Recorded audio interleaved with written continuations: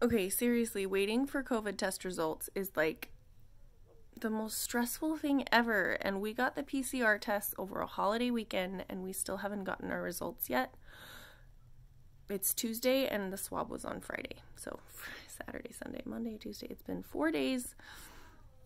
And I'm going crazy not knowing, like, whether I should be quarantining, whether I should be avoiding everyone, like whether I'm just getting over the sniffles or whether I'm about to die and going to kill everybody who comes within six feet of me. It's like so annoying to not know.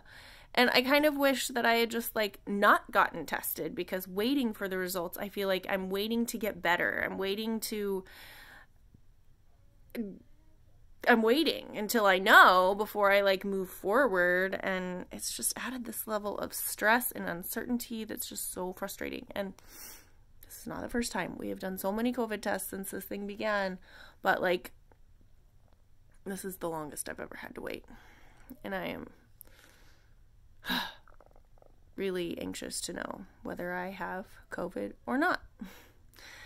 Mm everybody's been getting it in our in our lives lately like people at church people at school people at work people we know like personally. And it's definitely like the worst surge we've had in our area since everything started.